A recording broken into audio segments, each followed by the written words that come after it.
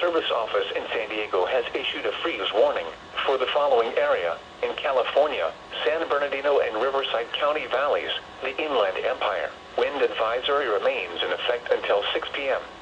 This evening, freeze warning in effect from midnight tonight to 8 a.m. Thursday.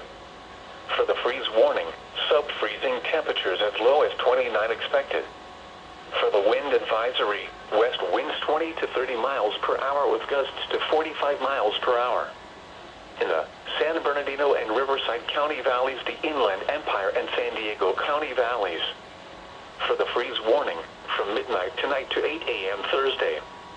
For the wind advisory, until 6 p.m. This evening.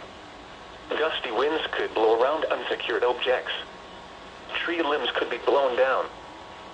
And freeze conditions will kill crops, another sensitive vegetation, and possibly damage unprotected outdoor plumbing. Low temperatures will be 29 to 35, which coldest locations in low-lying wind-sheltered locations. Use extra caution driving, especially if operating a high-profile vehicle. Secure outdoor objects. Take steps now to protect tender plants from the cold.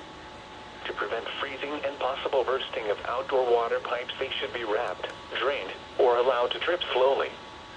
Those that have in-ground sprinkler systems should drain them and cover above-ground pipes to protect them from freezing.